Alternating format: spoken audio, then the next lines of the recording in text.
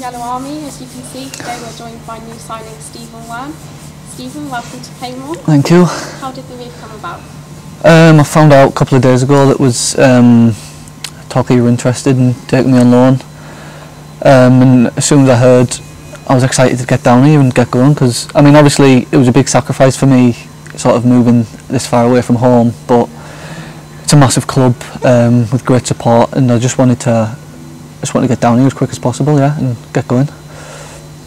Obviously, quite a long way from home. Yeah. Are you familiar with any of the current players or staff? No, no, I've never really um, met anyone here before, but um, yeah, I trained this morning.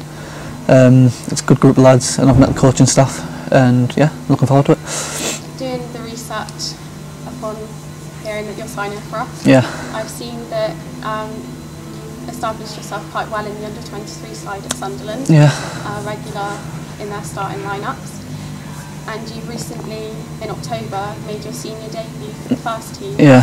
scoring two goals in two appearances. Yeah. Johnson, how was that? Oh, yeah, it was good. Um, obviously, I've played under 23 football for a while now, so it was sort of it was good to get get a bit of first team football. Obviously, it was only a couple of games, but yeah, enjoyed them and enjoyed scoring the goals. And yeah, obviously, it's just made me more hungry to to progress. And yeah, I'm just looking forward to being here and playing senior football.